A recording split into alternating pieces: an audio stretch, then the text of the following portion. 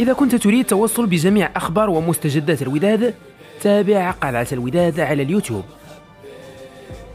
بات سعيد الناصري رئيس الوداد الرياضي لكرة القدم قريب من حسم صفقة جديدة خلال مرحلة انتقالات الصيفية الجارية.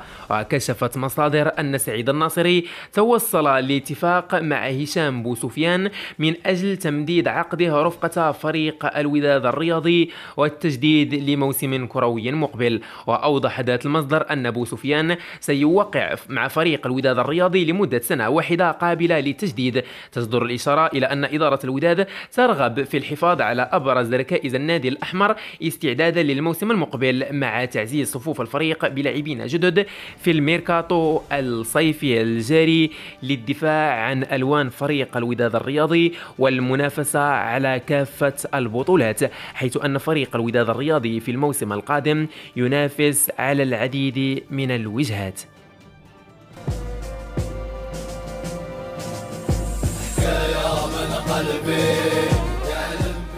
إذا كنت تريد التوصل بجميع أخبار ومستجدات الوداد تابع قلعة الوداد على اليوتيوب.